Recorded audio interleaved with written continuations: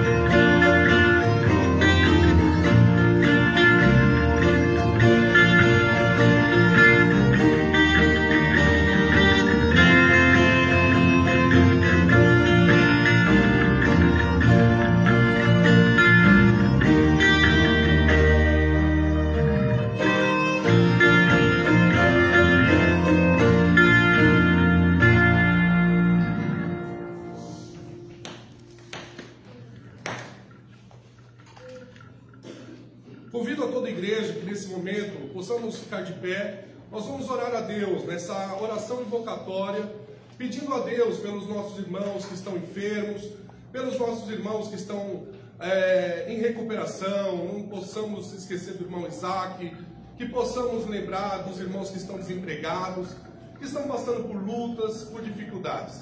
Ok? Esse é o momento que vamos pedir a vontade de Deus, que Ele venha e fale aos nossos corações. Vou pedir ao nosso irmão Adenilson que nos eleve nesse momento em oração. Oremos. Amado Deus, graças damos ao Senhor por mais esta oportunidade. Obrigado porque o Senhor nos tem sustentado, o Senhor nos tem alimentado na nossa vida espiritual. E graças a isso nós ainda estamos em pé.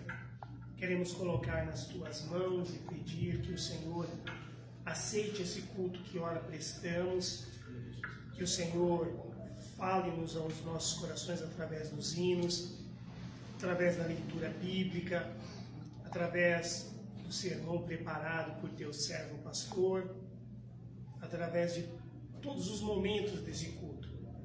Tenhamos uma boa semana, não sem dificuldades, mas que tenhamos, Deus, forças para sermos vitoriosos. Coloco nas tuas mãos a vida do meu irmão Isaac, peço que o Senhor esteja atuando em sua saúde, dando a ele a recuperação necessária. Também a todos os demais enfermos, que o Senhor recupere para a glória e honra do teu nome. Toma nas tuas mãos, Deus, o nosso país brasileiro. Ajuda-nos, Deus, a sermos luz para aqueles que ainda não te conhecem. Que o Espírito Santo tenha acesso a nós a fim de que nós possamos inflamar aqueles que andam perambulando sem conhecimento do Senhor Jesus Cristo. Em nome e por amor de Jesus, nós assim oramos, Pai. Amém. Ainda em pé, nós vamos abrir nossos cantores. O hino é o 550 do cantor cristão. Vamos cantar belamente o hino intitulado como Juventude. Estamos iniciando, durante esse mês de agosto, o mês da juventude dos adolescentes batistas. Que cantemos com bastante alegria, com bastante vontade, louvando ao nosso Deus pela sua infinita misericórdia.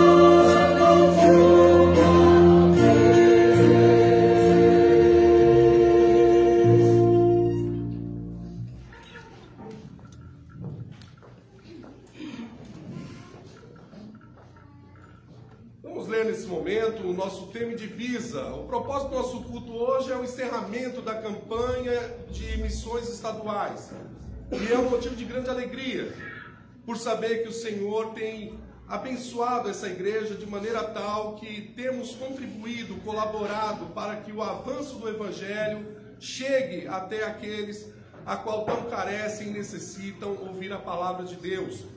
Nós, você está projetado? Cadê o nosso termo de visa?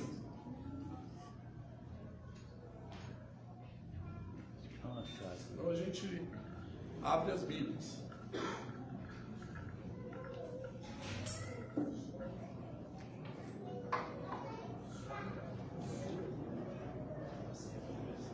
Sempre assim.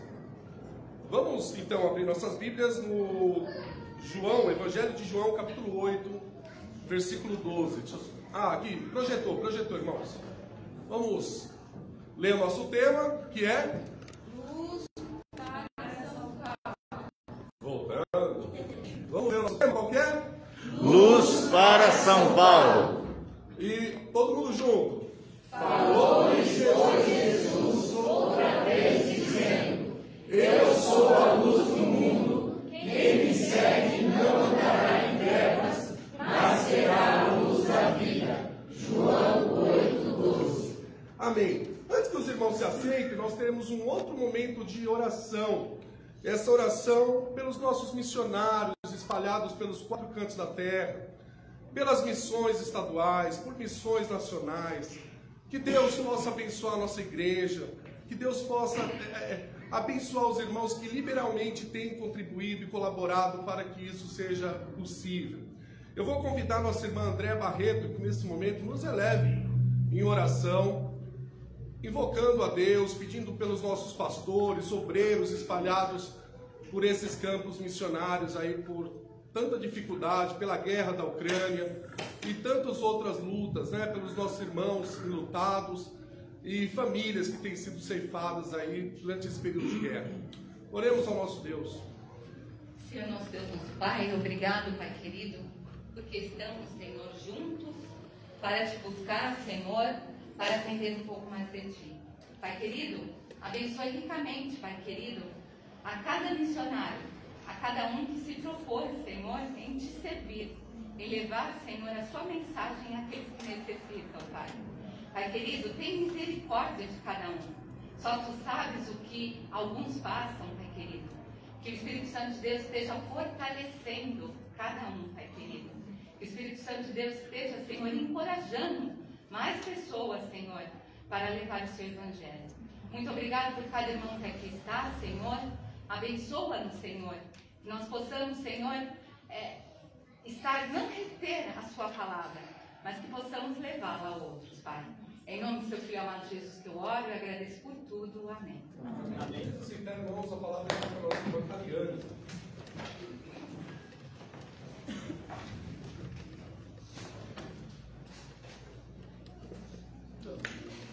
Acho que ela subiu lá em cima.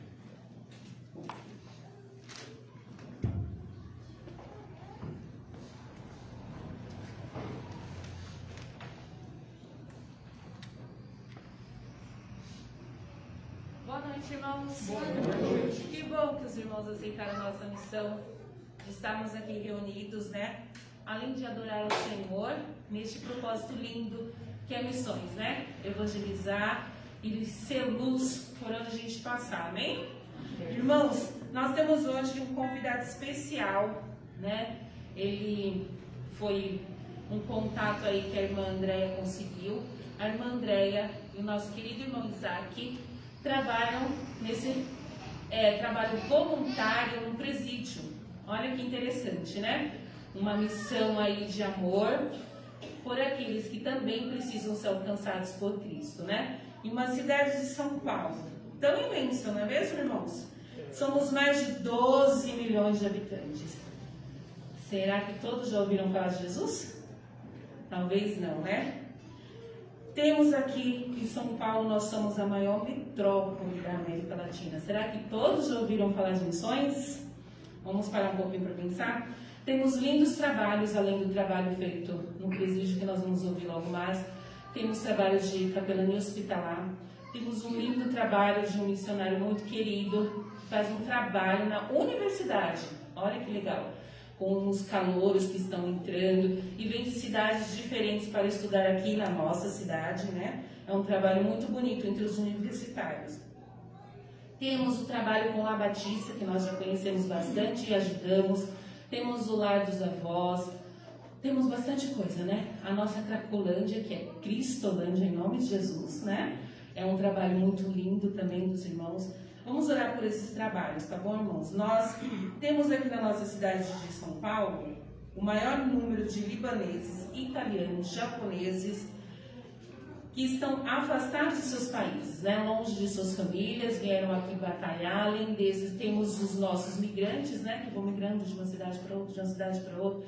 Aqui mesmo, se a gente for perguntar, né? tem bastante baiano, sergipano, pernambucano. E então é uma cidade muito acolhedora.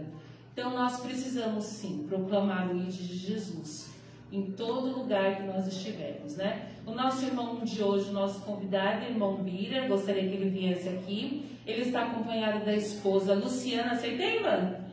Muito bem-vinda. Ele vai trazer uma palavrinha para nós de como que é este trabalho. Pode vir, irmão. Fique à vontade na nossa igreja. O irmão Bira, membro da igreja Cachoeirinha.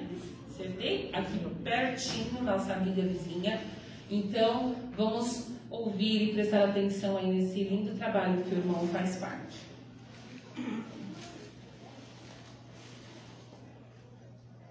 Boa noite, queridos. Boa noite. A paz do nosso Senhor permaneça conosco. Amém? Amém. Eu trago um abraço da Igreja Batista em Vila Nova Cachoeirinha para todos vocês, em especial ao pastor, que eu ainda não o conheço, mas ainda terei a oportunidade de conhecê-lo, do pastor Gilson e do pastor André, que são os meus pastores, ficaram muito felizes ao saber que eu estaria aqui e falaram: não esqueça de levar o meu abraço. Então, depois, pastor, eu converso contigo. Fiquei muito feliz, queridos, por receber esse convite de estar aqui com vocês nesta noite para falar um pouquinho para vocês da capelania prisional, tá bom?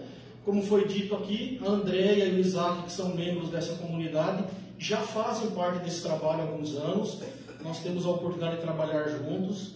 Esses irmãos são muito queridos, tá? Mas vou trazer para vocês aqui um pouquinho daquilo que é feito nesse ministério, tá certo? É, para que a gente possa ingressar nesse ministério, nós temos que estar em comunhão com a nossa igreja, nós temos que ter o aval do nosso pastor como uma carta de recomendação, nós temos que passar por um treinamento para aí sim fazer parte voluntário da CBESP, que é a nossa convenção, e dentro dela a gente fazer esse trabalho missionário. Como que funciona esse trabalho missionário dentro dos presídios? Não é fácil, como não é fácil em nenhum outro lugar. Às vezes nós pensamos assim, dentro da cadeia, meu Deus, já pensou? Não. É difícil assim como qualquer outro lugar. Aonde nós chegamos com a luz de Cristo, nós temos que ter a certeza, em primeiro lugar, de que não há trevas que aquele que habita em nós através do seu Espírito Santo, aonde ele está, não tem lugar para trevas. E isso pode ser na minha casa, pode ser na sua, pode ser lá na China, no hospital, nos presídios. Então, nessa noite, o meu desejo é que você saia daqui questionando a sua luz, esse Espírito Santo que habita em você. Será que você tem que ir para dentro da cadeia para fazer isso? Eu quero que você leve essa pergunta com você nessa noite, que você peça a orientação do Espírito Santo para você, aonde você possa estar brilhando essa luz. Tá bom, queridos? Então, em poucas palavras, eu quero trazer para vocês como funciona um pouquinho dentro das penitenciárias. Eu tenho a oportunidade de trabalhar em duas. Uma feminina, que fica ali em Santana, onde é o antigo Carandiru, tem a Praça da Juventude, um pouquinho para frente, a penitenciária feminina de Santana e numa penitenciária masculina em Guarulhos, onde nós moramos. Embora eu sou membro da Cachoeirinha, mas eu moro em Guarulhos. Tá? Por que essa distância toda? Minha esposa nascida, criada aqui, quando nós nos conhecemos, eu me converti e, e continuamos caminhando juntos aqui na nossa comunidade. Tá bom? Um pouquinho de diferença entre a feminina e a masculina. A feminina Que as mulheres não fiquem bravas comigo aqui, mas é muito mais difícil você trabalhar com a mulher do que com o homem, até dentro da penitenciária. Brincadeira, gente. Mas é assim, o comprometimento da mulher é um pouco diferente do homem. Quando você chega na penitenciária feminina, ela ainda está arrumando o cabelo, ela ainda está tomando o café. E lá você entra com várias denominações para dentro da penitenciária, após passar por uma revista bem rígida, ao qual não é mais as de antigamente, ninguém precisa mais fazer aqueles testes agachados agora, as mulheres, tudo passamos pelo raio-x.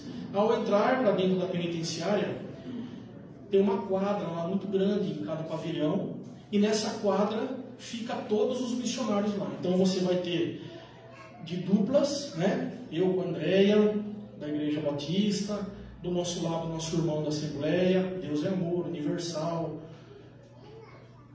Brasil para Cristo e assim por diante.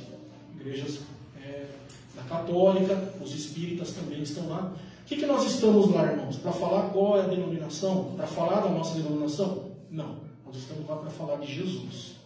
Então, estando lá, as meninas dentro da quadra, elas vão olhar e ver naquilo que ela quer se aperfeiçoar, onde ela quer se achegar. Então, se ela quer se achegar conosco ali, ouvir uma palavra mais tranquila, ela vem para nós. Se ela quer algo um pouco mais avivado, ela procura uma outra denominação.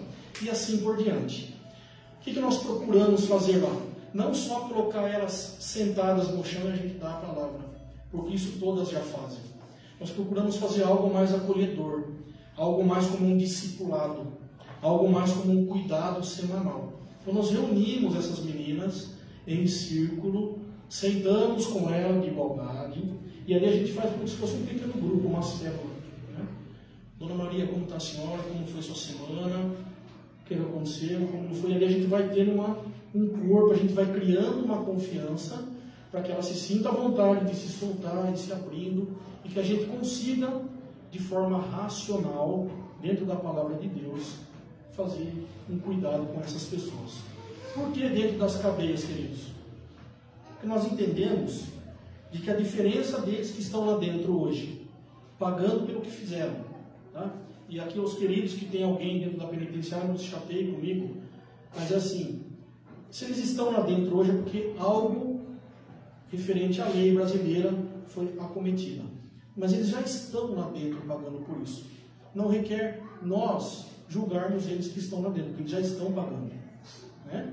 A diferença entre eles que estão lá dentro e nós que estamos aqui fora é só que eles estão lá dentro, é nenhuma. Alguém está preso porque roubou, traficou, estuprou, mas nós aqui fora estamos soltos e mentindo. Então a diferença entre nós e deles é nenhuma. Que a gente tenha essa consciência em primeiro lugar. Tá bom, queridos? Não estou aqui defendendo o que ele fez. Eu estou defendendo o ser humano. Até porque é muito simples nós perguntarmos para nós o que Jesus faria em nosso lugar. Condenaria ou tentaria falar, vamos caminhar mais uma milha juntos. Vai, não peques mais. Vamos junto, me segue. Larga tudo que você fez até agora e me siga. Então, só a gente se colocar nessa situação, que nós veremos que quem está dentro hoje da penitenciária, assim como eu e vocês, precisa de Jesus. Tá bom, queridos? Então, a penitenciária feminina funciona dessa forma. A penitenciária masculina é o Parada Neto, em Guarulhos. Lá já é diferente. Lá dentro da penitenciária já existe uma capela, onde nós chegamos para fazer o trabalho. Os presos já estão, todos os homens, direcionados nessa capela, como se fosse essa igreja aqui, mas em três partes. Mais ou menos ali umas 150 pessoas, 150 homens. Nós aqui na frente, podendo pregar. Não dá para fazer esse cuidado com os homens, porque a gente não tem esse tempo junto com ele, como dá junto com as mulheres. Mas ali a gente tem a oportunidade de fazer um culto, de pregar a palavra de Deus, de levar essa verdade da palavra que liberta, que causa em nós essa transformação daquilo que nós éramos, daquilo que a gente pode ser através do arrependimento em Jesus Cristo. Então, na penitenciária masculina, é, tem uma particularidade nesse José Parada Neto. Em 1990, mais ou menos, os irmãos aqui vão lembrar, o Brasil passou por um surto de AIDS nos anos 90. Então, todo homem que era preso por ter cometido um crime de abuso sexual, ao chegar numa penitenciária, era avisado, olha, ele é estuprador, abusou, etc. E tal. Como funciona, queridos? Essa pessoa dentro da, da cela, se tiver 20 homens presos, ele vai servir aos 20 homens. Né? Então estourou-se a questão da AIDS nas penitenciárias. O Estado de São Paulo resolveu concentrar esses homens em um presídio, né? que é nessa, em Guarulhos, nessa unidade chamada Parada Neto. Por quê? A pessoa foi presa, chegou lá por qual motivo? O mesmo de todos os outros que estão lá também. Então, meio que tentou disseminar, diminuir a questão dessa doença entre a população carcerária. Então, nessa unidade em Guarulhos, ela é específica para homens que cometeram esse crime de abuso sexual. Hoje lá tem 2.800 homens lá dentro, é, 99% todos pelo, pelo mesma situação, né? ao qual nós, como humanos, seres humanos que somos, né, pecadores, de imaginar uma situação dessa causa em nós aí revoltas, né? Assim como eu já ouvi alguns testemunhos lá dentro que me revoltou também. Então, humanamente falando, é óbvio que me chocou. Minha vontade naquele momento, muito claramente falando para os irmãos, não era orar por aquela pessoa. Né? Mas eu aprendi que é assim, se eu digo que eu sou cristão, se eu digo que eu sirvo a Cristo, eu tenho que servir ao meu inimigo, eu tenho que servir aqueles que precisam, eu tenho que orar e ajudar aqueles que mais necessitam. Quem está preso hoje também tem uma necessidade muito grande. Eu vou caminhar para o final aqui, mas quero trazer uma estatística muito desagradável para vocês, que é a seguinte: 71% das pessoas que estão presas hoje são reincidentes, ou seja, elas já foram presas, cumpriram a sua pena e por algum motivo retornaram às penitenciárias. É, isso é assustador. É assustador, porque a pessoa entra lá dentro porque ela cometeu um crime, ela sai de lá de dentro sabendo todos os outros. Né? Não há hoje uma questão governamental para recuperar essas pessoas e devolver ela para a sociedade. Então, quem está fazendo esse trabalho, queridos? Os missionários. Ainda a igreja é respeitada dentro das penitenciárias. Cada uma delas é regida por uma facção criminosa. E por incrível que pareça, a igreja ainda é respeitada nesse sentido. Ou você faz parte lá dentro de uma facção criminosa, ou você vai para a igreja. É assim que é dividido lá dentro. Tá? Então, com muito amor e carinho, nessa noite, eu não estou aqui para falar para vocês, vão para a cadeia falar de Jesus. Não é isso que eu estou falando para vocês. Eu venho aqui apresentar para vocês exatamente que trabalho é feito na penitenciária. Porque desses 150 homens, essas 200 mulheres, como que é essa fatia, queridos? Uma pequena minoria quer de fato mudar de vida. Uma grande parte, nós costumamos usar o termo lá que se esconde atrás da Bíblia, para não ir para uma facção criminosa.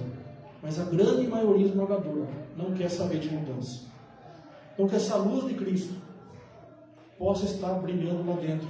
Não importa onde esteja. Né? Vocês têm aqui hoje dois irmãos fazem parte desse ministério, vocês possam dar todo o apoio para eles em oração e tudo mais que, que vocês possam fazer por eles. Tá bom? Quero deixar um texto bíblico para os queridos aqui. Está lá em Mateus 9, dos versículos de 35 a 38. Eu tenho muitos detalhes para dar para vocês, muita informação para passar mas o tempo para nós é curto. Então, assim que for possível, os irmãos fiquem à vontade para me procurar depois, que eu estou à disposição de todos vocês. Bom? Diz assim a palavra do Senhor para nós.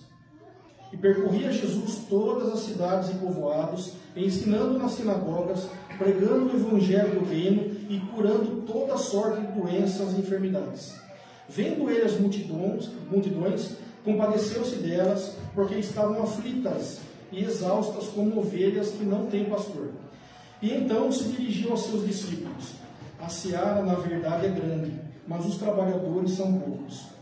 Rogai, pois, ao Senhor da seara que mande trabalhadores para a sua seara. Amém, queridos? Feche seus olhos, vamos orar mais uma vez. Senhor, muito obrigado pelo teu amor, pelo teu carinho, pelo teu cuidado, em especial nessa noite pelos meus queridos aqui na primeira igreja batista no Jardim Peri. Que em nome de Jesus, Senhor, a tua palavra, o testemunho, possa trazer a eles um despertamento.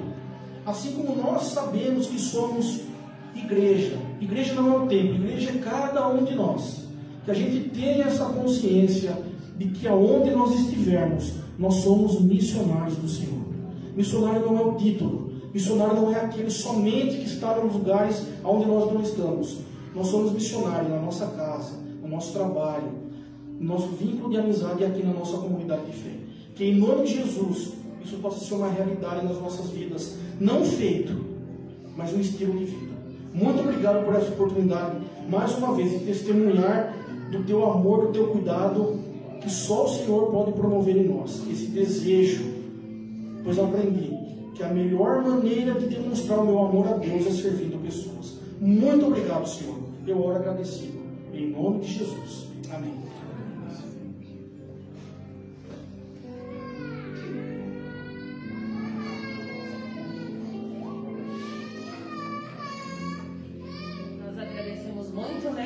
Irmão. E vamos louvar o Senhor agora, irmãos. Vamos ficar de pé, junto com uma equipe muito boa que tem aqui. Vamos cantar o nosso hino brilhando. E vamos virar para Jesus durante essa semana, né? Durante o tempo que estivermos juntos, tá bom? Vamos louvar ao Senhor. Enquanto estivermos louvando, nós vamos aproveitar este momento para os irmãos que trouxeram seus dízimos, suas ofertas. E os irmãos já podem depositar aqui, tá bom? A nossa oferta de missões é algo que a gente leva muito a sério aqui na nossa igreja, então você não se preocupe que vai ser destinada exatamente para o uso dos missionários no campo da convenção do estado de São Paulo, tá bom?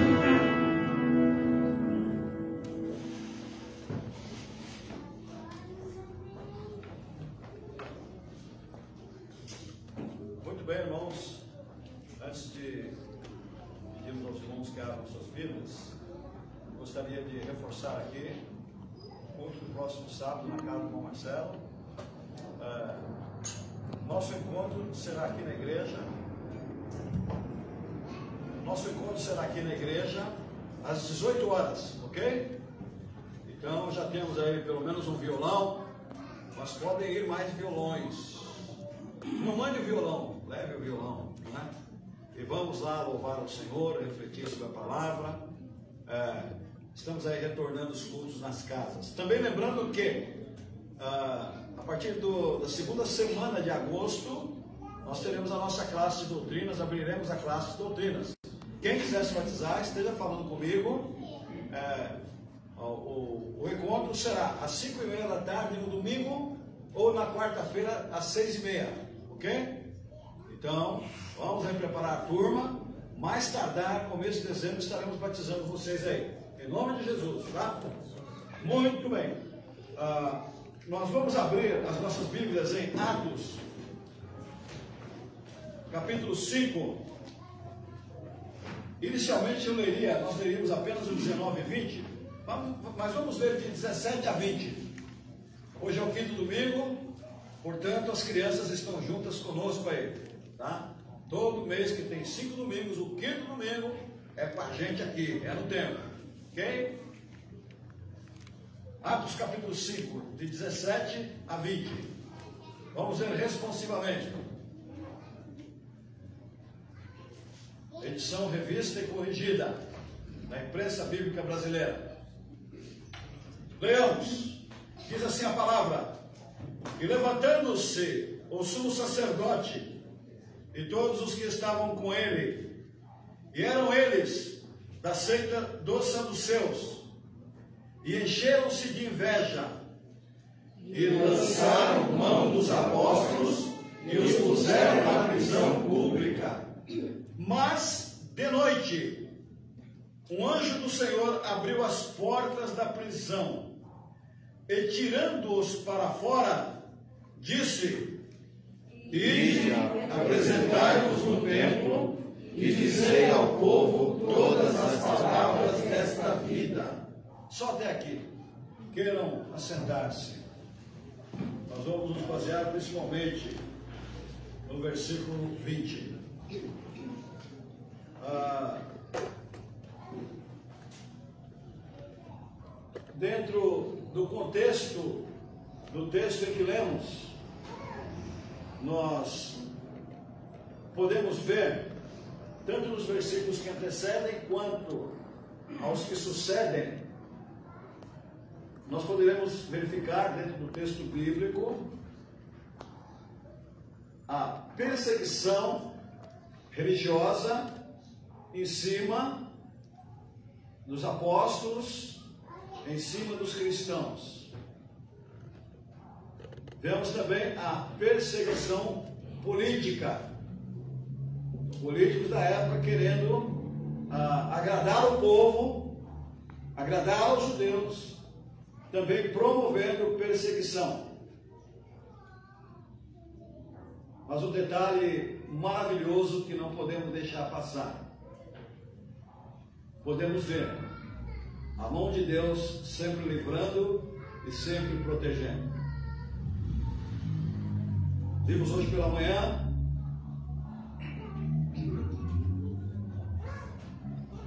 que aconteceu lá na Babilônia com Sadraque, Mesaque e Abednego. Vemos lá que eles foram desafiados também. Pagaram o preço da fidelidade. Quero destacar, quero novamente fazer um destaque. O destaque não foi a fornalha de fogo. O destaque foi a fidelidade a Deus. O destaque aqui é a fidelidade a Deus. É a obediência, é o cumprimento da missão. Vou repetir também o que eu falei pela manhã. Não adianta procurar uma vida bem-sucedida se nós, como crentes, fazemos tudo errado. Não podemos terminar bem se começamos bem e nos desviamos. Não podemos terminar bem. Se começamos mal, continuamos mal e vai terminar tudo mal. Nós vimos que começaram bem, continuaram bem. No caso, hoje pela manhã, recompensa, promoção. Nem sempre tem recompensa e promoção. Quero deixar bem claro isso. Não quero deixar que quem serve a Deus é, visualmente vai ser sempre protegidinho, não vai acontecer nada. É, a nossa consciência como cristãos é o seguinte: se tiver que morrer na missão ou pela missão, temos que estar prontos a morrer. É uma boa pergunta para fazermos esta noite. Esse pessoal aqui estava pronto para morrer. Então é preciso que nós tenhamos esta, esta visão. Mas assim, tudo, quando estamos dentro da vontade de Deus, tudo vai sempre terminar bem. Não estou falando bem no sentido de promoção, é, de você ser liberto. Não. Mesmo, mesmo que paguemos o preço da vida, vai terminar bem. Porque estamos servindo ao Senhor e Deus está no processo. Via de regra termina bem, né? Graças a Deus, não é? Estamos aí. Não é? Eu, eu poderia sentar com você. Já sentei muitas vezes com o irmão na escada ali. Conversamos a tarde inteira. Tem muita história para contar. Muita história triste, mas história de livramento. História de confiança no Senhor. História de continuar firme sem desistir. E se você realmente tem o intuito de servir ao Senhor, você tem que prosseguir e dizer assim: não importa o que aconteça. Lá Deus livrou, Deus não livrou da fornalha, Deus livrou da fornalha. Aqui, Deus não livrou da prisão, mas Ele livrou na prisão. Então, os apóstolos, aqui no caso são os apóstolos, eles estavam presos pelo crime de testemunharem do Evangelho. É, eles eram bem-sucedidos com a pregação. As pessoas se convertiam a Jesus. As pessoas se arrependiam de seus pecados e vinham para Jesus. Isso causava inveja. Às vezes, a tentativa é de nos parar, de interromper a pregação, de interromper o nosso testemunho. E às vezes, a tentativa de nos parar é por inveja mesmo. Inveja até da classe religiosa, no contexto aqui, nós vemos a, a classe religiosa. Então, a, a velha religião, o judaísmo, os líderes judaicos não admitiam que aquele judeu que veio, que não obedecia os parâmetros, as orientações ah, da lei, entre aspas, não é? de acordo com o conceito deles. Ah, aquele judeu que não fazia o que, não fazia o que eles queriam, ah, aquele trabalho que se sucedeu, que ele morreu, ressuscitou, deixou os seus discípulos responsáveis, aquilo tinha que parar. Aquilo não podia continuar. Só que continuava e continuava crescendo. As pessoas iam se convertendo. E aquilo tinha que parar. E nós vemos aqui que eles, eles estavam presos. Eles estavam presos por pregarem o Evangelho. E de repente, ali na cadeia, muito bem guardados, aparece um anjo do Senhor. Eu não quero entrar no mérito aqui da teofania. Teofania é, é Deus de alguma forma se materializando. Normalmente, biblicamente, dentro do Velho e do Novo Testamento, é, é, no caso do Velho Testamento, é Jesus Cristo aparecendo antes da encarnação. Quando se fala em teofania, é Jesus Cristo aparecendo na forma de anjo. Não quero discutir isso aqui dentro do texto, porque esse não é o objetivo no momento. Mas eu quero dizer para vocês que ali na prisão, eles estavam ali presos, é, não sei se com perspectiva, sem perspectiva, mas uma coisa eu sei: ali dentro eles sabiam que estavam presos por estarem cumprindo a missão, estavam com a consciência tranquila e estavam esperando pelo Senhor. Um outro detalhe: esperando sempre pelo Senhor.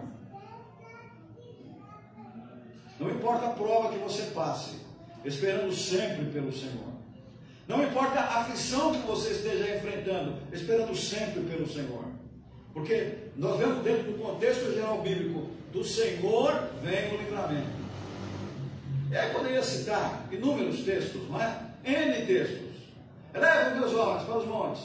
De onde me virá o socorro? O que, que diz lá? Meu socorro. Né? Deus é nosso refúgio, socorro. Então, nós como cristãos temos que ter a consciência de que sempre o nosso socorro vem do Senhor. E claro, ele, na maioria das vezes ele vai usar gente. Mas não nos esquecendo que poderemos, nesta batalha, talvez perder até a vida, mas tudo pelo Evangelho, até a vida. É preciso ter essa consciência. E eu não sei onde a gente vai parar. Temos visto aí vários ensaios no mundo, em cima dos cristãos. Mas é preciso abrirmos os olhos para isso, é preciso nos prepararmos para isso. Coloque na tua cabeça esta frase: sempre esperando pelo Senhor. Porque a tentativa é de nos calar. A tentativa é de complicar a nossa vida e fazer com que a nossa vida seja um escândalo. Além de não testemunhar, ainda seja um escândalo para o Evangelho. E a tentativa é misturar o Evangelho com outras coisas. E já tem muita gente misturando o Evangelho e, na verdade, aquela água pura, é, em muitas igrejas já não existe mais falando bem genericamente, não especificando ninguém. Não é? Então temos que tomar muito cuidado. Então, ali estavam presos, esperando pelo Senhor. Guarde bem isso, esperando pelo Senhor. Muito bem. E apareceu ali um anjo do Senhor. E a partir do momento que ele os libertou, ah, ele passou algumas orientações que serviu para aqueles crentes, que serviu para os crentes através dos séculos e que serve para nós hoje, Igreja Batista no Jardim Peri. Ele deu alguma orientação ali, algumas orientações. A primeira delas foi: ide. É, a primeira delas foi: ide, está lá no versículo 19, é, de noite, anjo do Senhor a porta da prisão, tirando para fora. Ide, versículo 20. Ide. Eu estou libertando vocês para vocês irem. Nas suas prisões, que não precisam ser necessariamente física, você vai orar, vai esperar pelo Senhor, e assim que liberto, ide, vai ter sempre essa ordem porque essa ordem atravessa os séculos, atravessa as gerações e chegou para nós hoje e está escrito aqui. Eu liberto, liberto você e você vai. É, ontem a minha esposa estava vendo um vídeo lá, aliás é um vídeo de uma cantora aí que ela gosta muito. A minha, eu vou ficar dando palpite, né? Ela gosta muito, não vou dizer que gosto nem desgosto, embora reconheça que tem umas músicas bonitas, algumas. E ela estava cantando lá com um elemento lá, um elemento, no bom sentido, não de desprezo, tá, irmão? Não, não é nada disso, tá? Mas a gente fala, passa uma imagem errada, não é isso. E ela falou, tá vendo esse elemento? Esse elemento estava no mundão, mexia com coisas erradas, e ele se converteu. E ele, tava, ele, ele, ele estava indo Ele estava anunciando o Evangelho. Nós sempre somos libertos pelo Senhor para irmos. É, é, é, eu queria dizer o seguinte: aquele que vem de uma vida muito suja, muito desregrada, muito de pecado, o impacto do Evangelho é tão grande na sua vida, que aí começa a comparecer nas igrejas para dar testemunho, se torna pastor, para falar daquilo que Jesus fez por ele. É, é muito comum isto, quando um camarada está numa sujeira muito grande, numa vida muito pecaminosa. Então ele quer contar para todo mundo que Cristo fez por ele. Mas isso não precisa se ater apenas pessoas assim. Essa mensagem é para nós. Ide. E não pense que. Ah, eu até peço desculpa se eu passei essa ideia. A gente não vai, mas a gente pode contribuir. Não, senhores. Está errada essa ideia.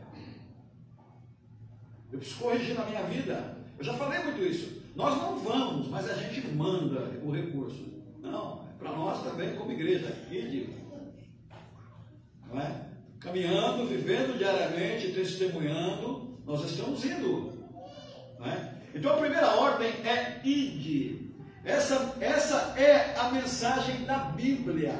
Ide, porque Deus se interessa por todos os homens. Deus ama a humanidade. Deus quer comunicar o seu amor à humanidade através da sua igreja, através de nós. O instrumento para essa comunicação é a igreja, são os crentes em Cristo. Então, primeiramente, foram libertos para ir. Muito bem, uma outra ordem aqui do anjo, não sei se Jesus Cristo ou um anjo especial, já disse que não quer discutir isso, não é? A outra ordem é apresentai-vos. É colocar-se à disposição. Aí nós damos várias desculpas. Estou falando nós em tese. Não, é? não tenho tempo, estudo muito. Eu já vi tanta gente dizer assim, pastor, eu tenho uma vida acadêmica violenta. Quando eu terminar minha vida acadêmica, eu vou me dedicar ao Senhor. Quando eu ouço, essa, quando eu ouço esta declaração, eu falo comigo mesmo. Sabe quando, meu amigo, você vai se apresentar para Cristo com essa ideia? Nunca. E deixe cumprir. Ah, pastor, depois que eu criar meus filhos. Ah, pastor, depois que ah, eu me aposentar. É agora, meu irmão, não importa a tua vida, a correria, as oportunidades são diárias, é aonde você está, você não precisa se formar, você não precisa criar sua família primeiro, é agora. Então, apresentai-vos, é um ato de coragem, é se colocar à disposição. Deus espera de seus discípulos coragem, Deus espera disposição, disposição. Isaías disse: Eis-me aqui, envia-me a mim. É agora. É agora. E eu confesso, eu preciso orar, eu sou fraco. Confessa a minha fraqueza. Você precisa orar. Senhor, me ajuda, me dá a mão. E não adianta tentarmos fazer isso com força humana. Nós temos que receber força sobrenatural do Espírito Santo do Senhor. Então, é preciso coragem. Deus espera disposição. Eis-me aqui, envia-me a mim, para viver o Evangelho pregar o Evangelho, é preciso ter coragem, senão nós nos transformamos em uma antipropaganda do Evangelho. Aí é triste, é pior. Quando o crente se torna uma antipropaganda do Evangelho. É triste quando o vizinho diz assim, aquela casa ali, crente, não é? É triste isso, né? Mas é tão bonito quando alguém diz assim, essa casa aqui, a gente sente a diferença até quando passa na. Eu sou meio, eu vou dizer assim, sou meio místico, hein? Nesse, nesse bom sentido, santificar os nossos lares de tal forma que quando as pessoas passarem em frente, diga assim, levanta a mão e diz, aqui tem uma família de Jesus. Esse povo aqui é um povo de Deus. Desculpe essa referência mais uma vez, pessoal. Quando nós mudamos lá para onde nós moramos, já tinha uma vizinha do lado, uma casa uma casa linda da mulher. A mulher morava sozinha. Né? E um parente da minha esposa, muito conversadeira, sem minha autorização. Eu não gosto de tirar carteira, né? Da carteirada, não gosto dessas coisas. Fui lá falar para a vizinha, tá vendo? Ó, oh, quem tá é meu cunhado. Eu falei, né, que é cunhado. Né? Falei, parente, né? Aí já falou, é, ele é pastor. A mulher falou assim, minha filha, eu não gosto de crente. E o pior, eu não gosto de pastor. Aí ela veio e contou para nós, né? Jogou uma ducha da café. Comecei a olhar para aquela mulher, não posso nem cumprimentar, porque essa mulher pegou me xingar. Né? E o tempo passou, já são 21 anos que eu moro ali. A mulher não pode ver a marca, fica segurando a marca para conversar. E ela desce os maiores elogios. Não porque a gente merece, tá? Não estou dizendo, não estou me colocando assim que a gente tem uma auréola lá tal. Nada disso. Mas ela fala bem, o filho dela fala assim, é, tudo meio adinheirada, né? O filho acompanha ela, não mora lá com ela, é casado, tem sua família. Fala, mãe, passa o teu telefone para vizinha. Mãe, esse pessoal é um pessoal bom, mãe. Mãe, faz amizade, mãe, cumprimenta eles, mãe. Somos melhores que ninguém. Nós vivemos a nossa vida, não estamos a nossa vida normal. Ninguém fica enfiado em casa de ninguém, não estou dizendo isso não. Porque isso às vezes nem é bom. Nem é bíblico, não é que a Bíblia fala. Cuidado, fica enfiado na casa dos outros, não, hein? Isso dá problema.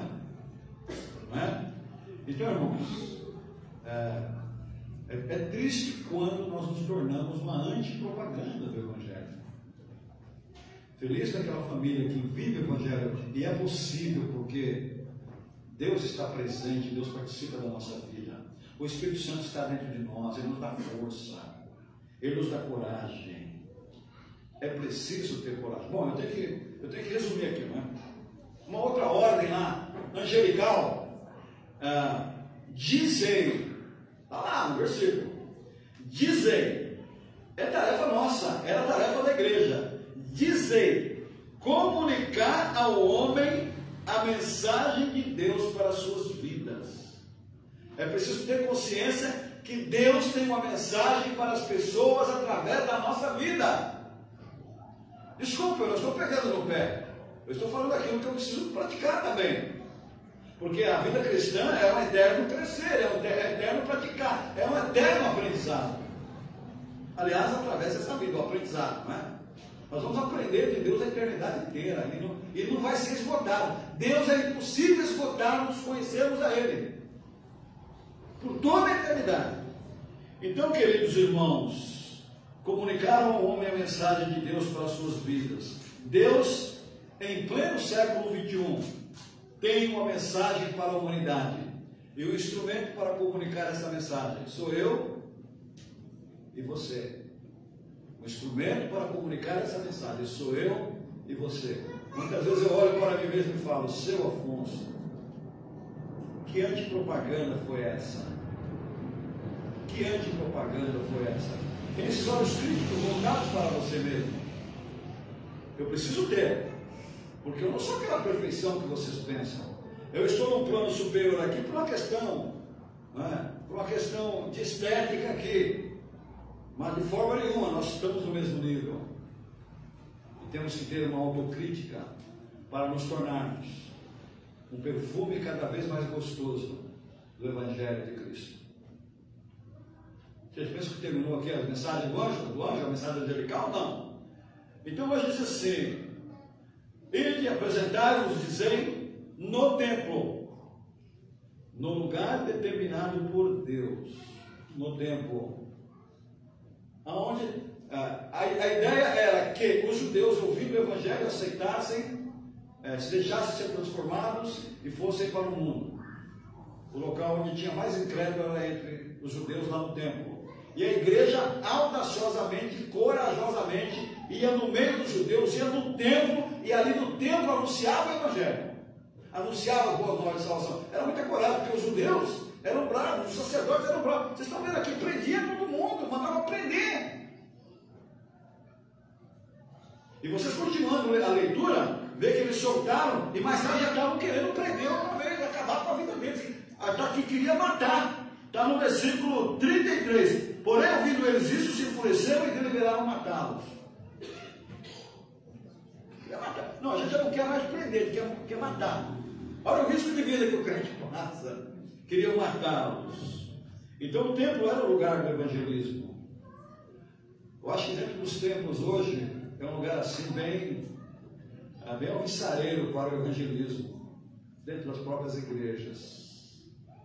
Comunicar, é, lugar determinado por Deus, Deus enviava, onde tinha gente, no templo, aqueles judeus precisavam ouvir o evangelho, aqueles judeus precisavam se converter. A outra ordem é ao povo, claro, tinha que anunciar o evangelho para o povo. Estavam sendo libertos para anunciar ao povo, aos ouvintes determinados, no tempo e a todos. Essa, essa mensagem de esperança do evangelho é para todos. Você não pode dizer assim, ah, essa, pessoa aqui é muito humildezinha, ela não vai entender o evangelho. Entende? Essa pessoa aqui é muito rica é inatingível. Vocês, eu posso dizer com toda a liberdade que vocês não conheceram, eu conheci e tive como professor um pastor chamado Pastor Ari Veloso, um mineiro muito comunicativo, que se converteu aos 18 anos, começou fazendo Mobral, fez teologia, foi para os Estados Unidos fazer especialização, casou-se com uma americana e veio para São Paulo. Ele é fundador até hoje. Vocês não sabem, ele foi fundador da Igreja Batista do Morumbi. Ele dizia, eu fui chamado para evangelizar a alta classe. Palmeirense doente, nunca vi um tão doente como aquele, pelo Palmeiras. Ah, e ele dizia, eu evangelizo senadores, deputados. Ele procurava saber, porque a igreja dele era uma igreja muito rica, e ele procurava saber os voos dos políticos. Você acredita uma desse?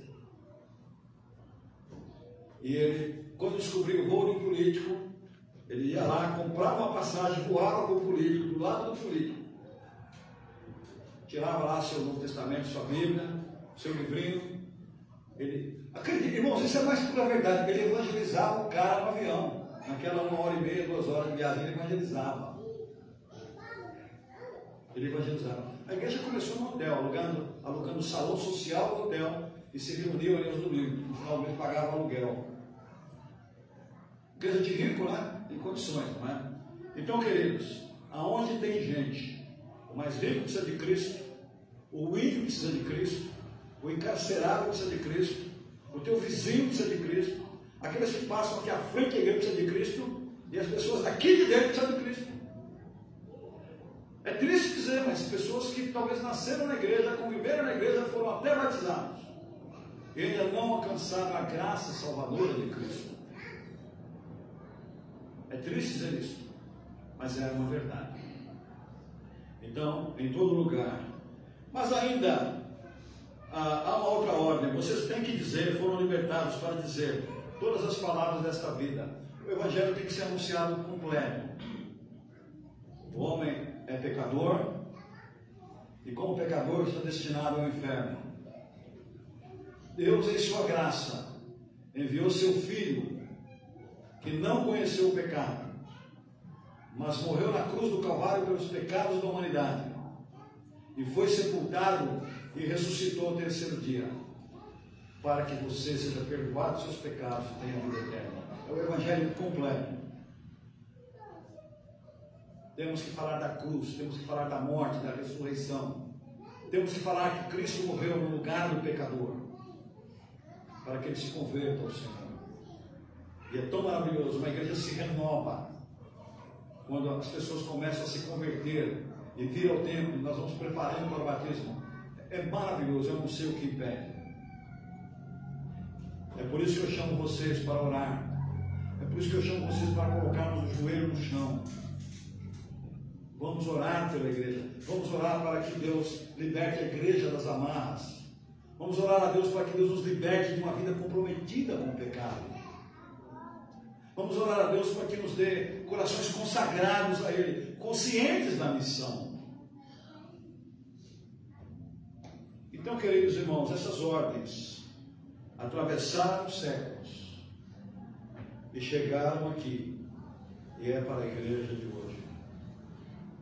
O anjo apareceu para aqueles que estavam esperando no Senhor e disse: Ide, apresentai-vos, dizei no templo ao povo o Evangelho de forma completa, todas as palavras dessa vida. Sinceramente, irmãos, que o Senhor nos abençoe e que o Senhor nos dê o privilégio, a alegria, não só de contribuirmos, eu falei que a gente tem que ir, mas tem que contribuir também. E isso a gente tem, isso a igreja tem feito.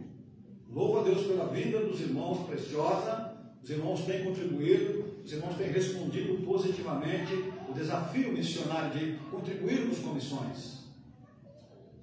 Que Deus nos ajude também a termos alegria de vermos almas se aproximando do Senhor através desta igreja, através do nosso testemunho. Que o Senhor nos abençoe, que o Senhor nos ajude. É a nossa oração. Muito bem, nós vamos orar. É, a próxima é a oração? Está no programa aí? Me orienta o programa aí que eu estou sem ele aqui. Tá? É isso, né? Então nós vamos orar nesse instante ao Senhor. Quero alguém que ouvindo, bem suavemente. A música não pode atrapalhar na comunicação da palavra da oração. Bem suavemente nós vamos orar ao Senhor. Nós vamos orar pelo. Qual é o nome dele? Ednei, né? É um pedido do Walter. Walter tem, tem acompanhado os cultos aqui frequentemente. Ele pede para um amigo chamado Ednei, que está na UTI, de repente foi para a UTI, vida saudável, de repente. Nossa vida é assim. Não é? Vamos orar pelo Isaac, desses que está internado também. E outros irmãos, não é? que eu desconheço talvez os problemas, as dificuldades. Nós vamos orar nesse momento. Quero pedir a você que creia no poder da oração. Eu quero pedir a você que talvez você esteja num beco sem saída. Você não está numa prisão física. Mas Satanás tenta de todas as formas nos deter, nos, parar, nos deter e nos paralisar. Mas olhe para o Senhor, espere no Senhor, porque em Cristo há libertação. Em Cristo há liberdade. E com Cristo você pode escrever a história da sua vida. Então eu vou me ajoelhar. Você se ajoelha, fica de pé, fica sentado. Ninguém aqui é discriminado pela sua posição. Mas que o teu coração esteja nas mãos do Senhor. O nome do moço, me repete, por favor, Walter. Ednei, né? Ednei. Ok.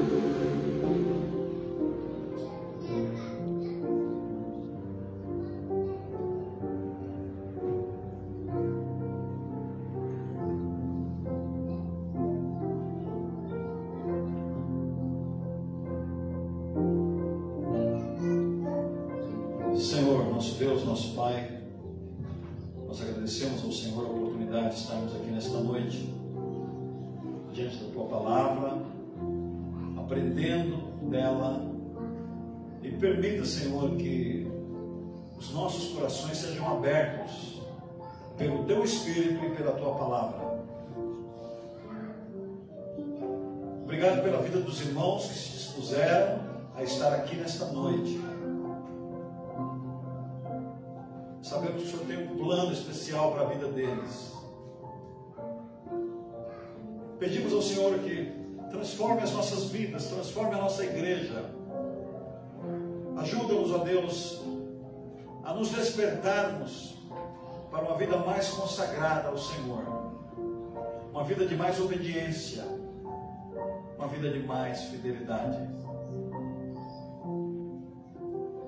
Oh Deus, não é demais dizermos, nós precisamos desesperadamente da presença do Senhor, da orientação do Senhor, da direção do Senhor para as nossas vidas.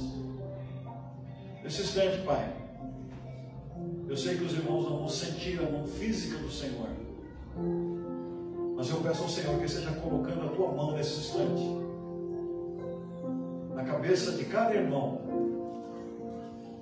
dizendo para eles,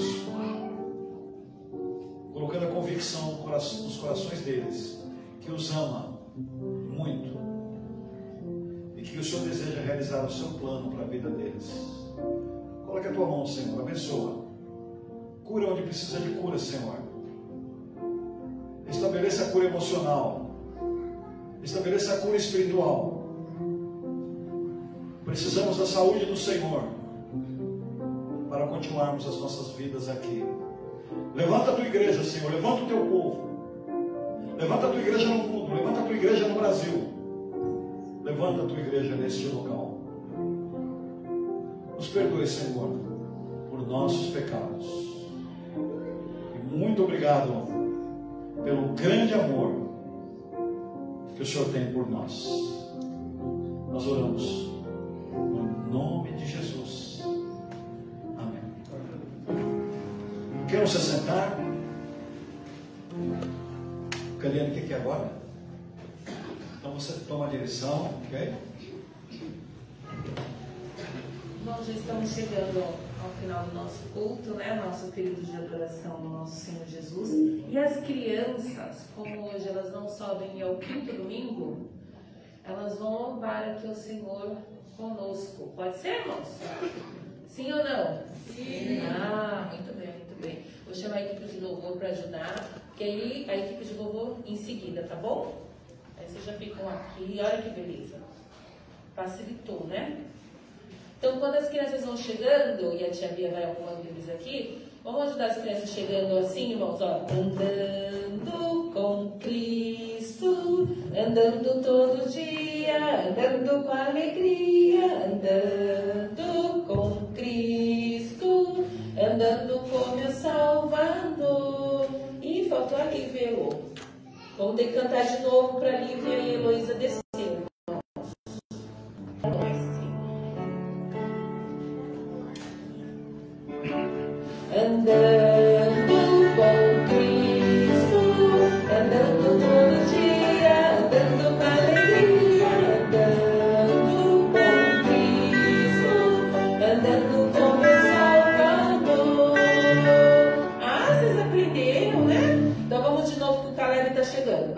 Andando com Cristo, andando todo dia, andando com alegria, andando com Cristo, andando com meu Salvador. Irmãos, o pastor tem ensinado para nós, já tem alguns anos, né, pastor? Então já está tudo decora aqui, ó. Os livros da Bíblia. Vamos juntos? Quem sabe qual é o primeiro livro? E o último? Ah, o Mateus tá esperto. Vamos lá, hein?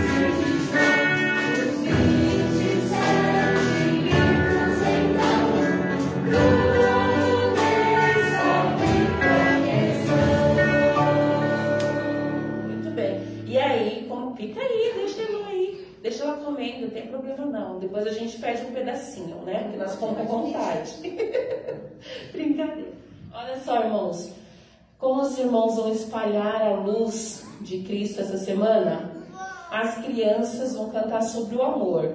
Enquanto a gente canta, os irmãos cumprimentem um ao outro, desejam uma feliz semana.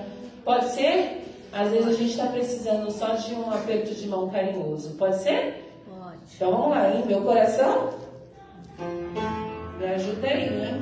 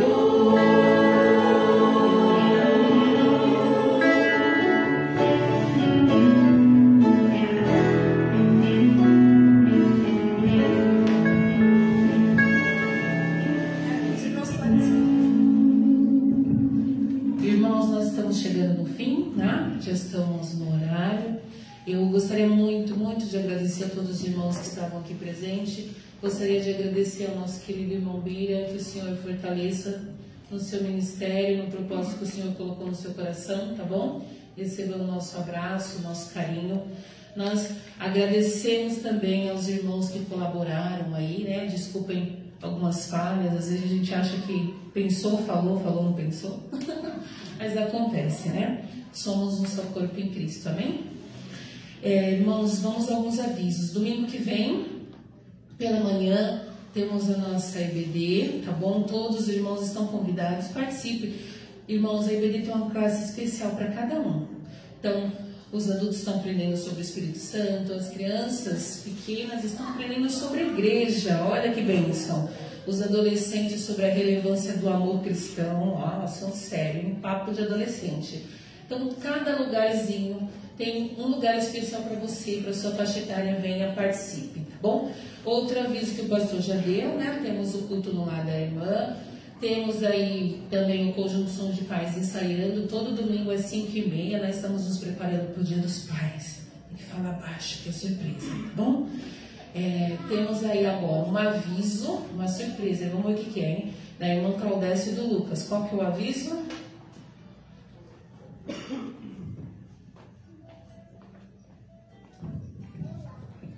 Irmãos, vocês nem imaginam porque a gente está aqui? Não, tá aí. Já apareceu lá, né? O coral está de volta, então. Aí, sábado que vem, a gente vai das 5 às 6 só para conversar como que vai funcionar é, a partir desse ano, né?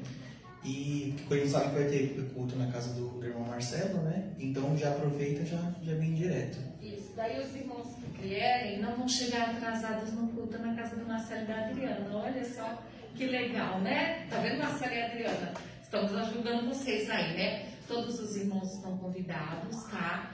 Quem fala, canta, tá, gente? Então pode vir, tá bom? É, todos estão convidados. Eu quero fazer aqui um convite bem especial para os instrumentistas, tá? Tipo uma intimação. né? Vocês estão super convidados aí, Caliane. Cadê, cadê, cadê Ismael, gente? Ismael, Felipe. Cadê o nosso amigo ali? Olha ele arrumando a bandeira. olha, Se escondendo aí. Todos, todos, gente, são muito importantes e vocês estão todos convidados. Quem fala, canta. Então vem cantar com a gente, tá bom? Irmãos, eu vou chamar aqui, pastor, para a gente orar. Pode vir também, pastor. A gente ora e encerra, pode ser? Tem mais algum aviso? A gente orar e encerrar? Não esqueça do Ednei, eu acabei não mencionando, tá? Ednei e Isaac. E E sim, excepcionalmente hoje, nós atrasamos. Nós normalmente terminamos até 15 para as 8. Mas hoje foi um culto diferente, tá? Ok, pode encerrar. Vamos orar, irmãos? Eu vou chamar aqui a equipe da diretoria da IBD, ali a secretária, a vice, vem todo mundo aqui. Nós vamos orar agradecendo a Deus por este culto. E no final do culto nós vamos sair cantarolando o fim desse esse dia. Pode ser? A regente nos ajuda aí. Oremos, irmãos. Essa aqui é a diretoria da IBD, para quem não conhece, tá bom? Eu e a Adri somos as secretárias e os irmãos estão na liderança da direção. Oremos. Senhor Jesus, ó Pai, nós te louvamos, Senhor Jesus, porque podemos te adorar em espírito e em verdade, Senhor. Receba o nosso louvor, receba a nossa adoração, esteja com o irmão aqui que foi citado, o irmão Isaac, Senhor Jesus. Guarde e protege, Senhor. O Senhor sabe o que eles precisam e necessitam. Opera, ó Pai, o teu milagre na vida deles, Pai. Nós te pedimos, Senhor, pela nossa igreja, pela nossa semana, que possamos sair daqui e brilhar a tua luz por onde passarmos, ó Pai. Muito obrigado por tudo que o Senhor tem feito. Em nome de Jesus. Amém. 556. Finda-se esse dia.